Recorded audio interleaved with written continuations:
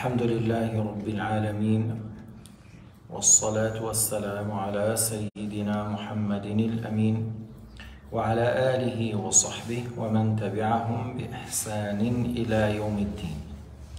بيان أنواع البدعة وحكمها alors c'est euh, la clarification au sujet qu'est-ce que l'innovation et quel est le jugement de l'acte innové اعلم أن البدعة لغة ما أحدث على غير مثال سابق ما هي البدعة؟ الذي أحدث ولم يكن قبل موجود مثله على غير مثال سابق Alors l'innovation, c'est ce qui est innové, initié et qu'il n'y a pas quelque chose qui a été fait auparavant, quelque chose euh, pareil à ça.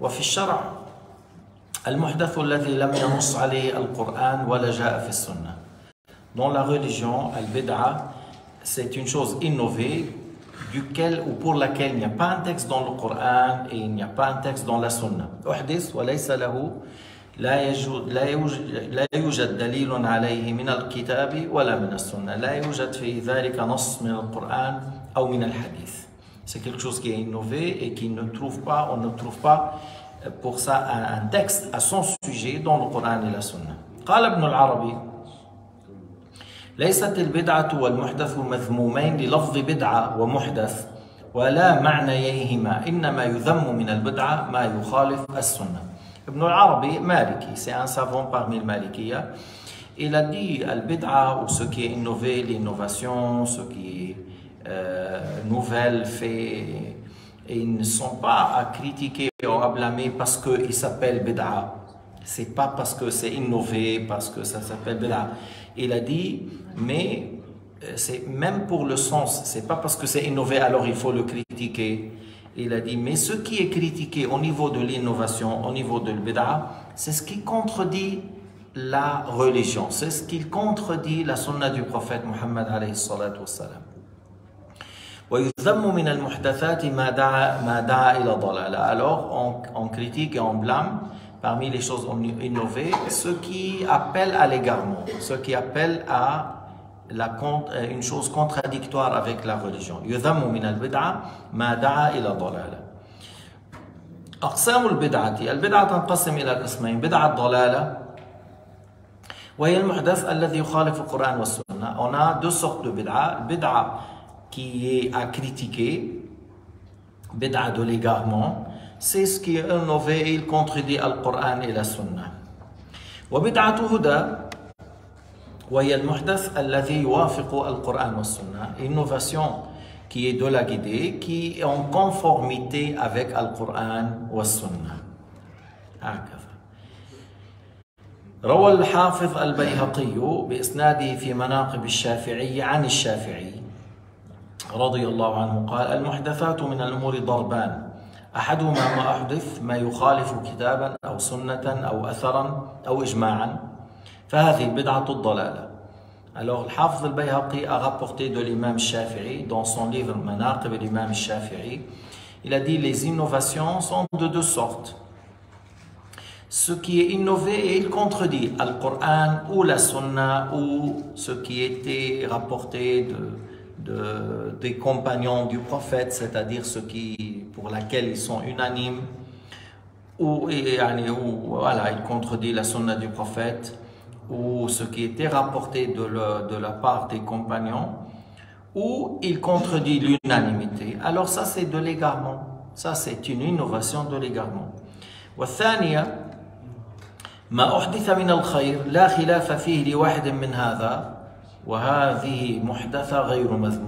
Il a dit la deuxième sorte d'innovation, ce qui est innové, mais il ne contredit rien. Il ne contredit pas le Coran, ni la Sunna, ni ce qu'ils ont dit les Sahaba. Il ne contredit pas non plus l'unanimité. Alors, c'est pas à critiquer, c'est pas quelque chose à blâmer.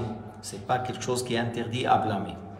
إذا الإمام الشافعي بين أن هناك مذموم وهو الذي يخالف الشرع والمحدثة التي لا تخالف إنما توافق ليست بمذمومة وفي فتح الباري عن الشافعي البدعة بدعتان محمودة ومذمومة. هذا آه، يعني دون لو ليفر فتح الباري de Ibn Hajar al-Asqalani, il a dit que Shafi'i a dit on a deux sortes de bid'a, une bid'a louée et une bid'a à critiquer. Là-bas, il a dit ce qui est rapporté le Bahaqi, c'est pas à critiquer. Ici, il a dit clairement à louer. Il a dit bid'a à louer, bid'a mahmouda. وهي التي إيش؟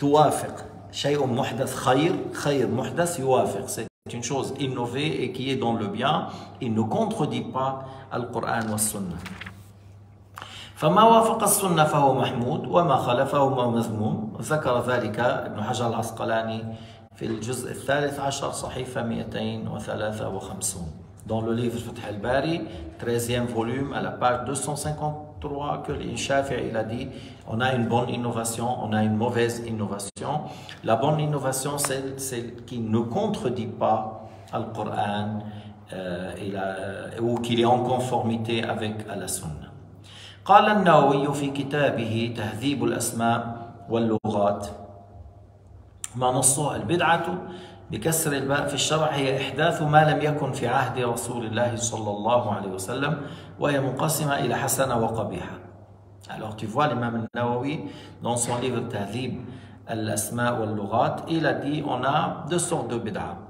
Le bid'a qui c'est tout d'abord il a défini, il a dit faire quelque chose qui n'était pas au temps du prophète alayhi salatu wassalam et il a dit il y a deux sortes, il y a du bien, il y a du mal. قال الإمام الشيخ المجمع على إمامته وجلالته وتمكنه في أنواع العلوم وبراعته أبو محمد عبد العزيز بن عبد السلام رحمه الله ورضي عنه في آخر كتاب القواعد البدعة منقسمة إلى واجبة ومحرمة ومندوبة ومكروهة ومباحة. النووي ينقل عن العز بن عبد السلام اللي هو إمام عظيم مجمع على إمامته c'est vraiment a dit c'est un imam qui est enraciné dans la science qui a beaucoup de qualités. Il était en Égypte. العز بن عبد السلام qui avait un rôle dans la guerre contre les Mongols contre les Tatars et النووي rapporte que cet imam العز بن عبد السلام عبد العزيز il a dit البدعه une البدعه obligatoire بدعه interdite بدعه recommandée بدعه déconseillée et بدعه indifférente مباح قال الطريق في ذلك أن تعرض البدعه على قواعد الشريعة.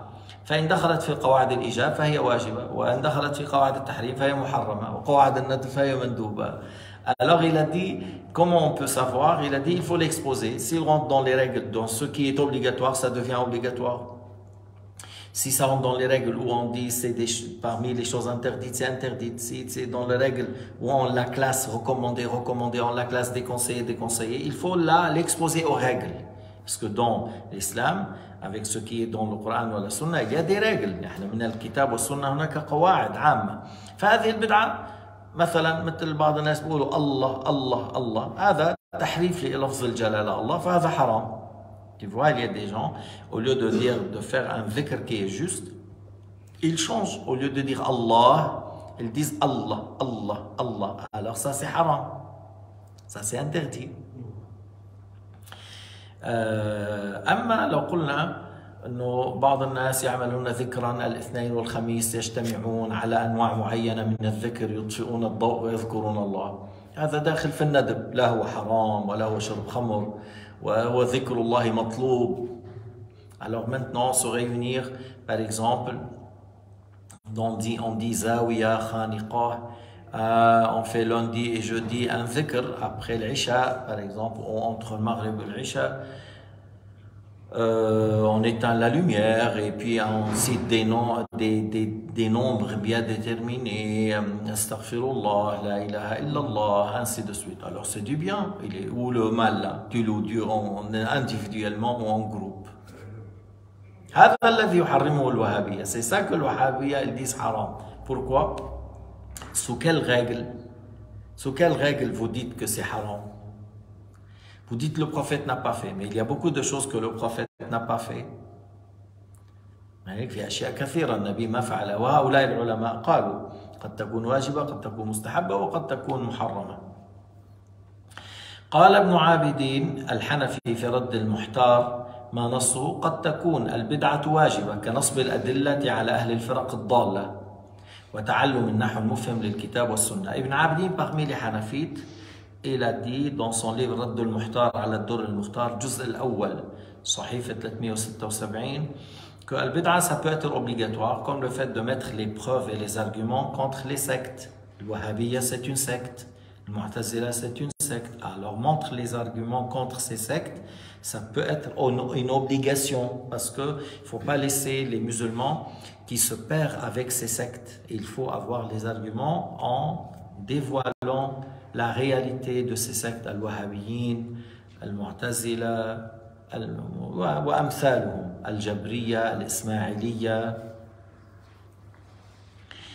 Et le fait d'apprendre la grammaire pour comprendre le Coran et la Sunna, alors ça c'est obligatoire. Parce qu'à l'époque, les Arabes parlaient l'arabe littéraire sans aller à l'école. Maintenant, on a besoin d'aller pour comprendre. Mandouba, il y a une bid'a recommandée, comme le fait, il a dit, de faire des écoles, de faire des khaniqas, de faire et c'est des choses qui n'ont pas été au temps du prophète, mais aujourd'hui ça aide. Si le prophète n'a pas fait une école, est-ce que ça veut dire que c'est interdit de faire une école? Non. Si le prophète n'a pas fait l'université islamique, ça veut dire que c'est interdit de faire maintenant l'université islamique? Non. Si le prophète n'a pas utilisé le YouTube et le Facebook, on dit c'est interdit d'utiliser ça? Non. Il y a beaucoup de choses que le prophète n'a pas fait et aujourd'hui on fait et on utilise bien déconseillé, comme le fait de faire beaucoup de décorations dans les mosquées, c'est déconseillé. ومباحة différent كالتوسع بلذيذ المآكل والمشارب والثياب هلا أنا بعرف إنه c'est déconseillé de mettre plusieurs sortes à manger, le fait de chercher le luxe, le luxe dans les habits. Lui, il a cité ici, voilà, à bien manger, à bien s'habiller, mais le fait de le, le fait de chercher le luxe, tout ça, c'est déconseillé. والحمد لله وصلى الله على سيدنا محمد وعلى آله وصحبه وسلم تسليما كثيرا.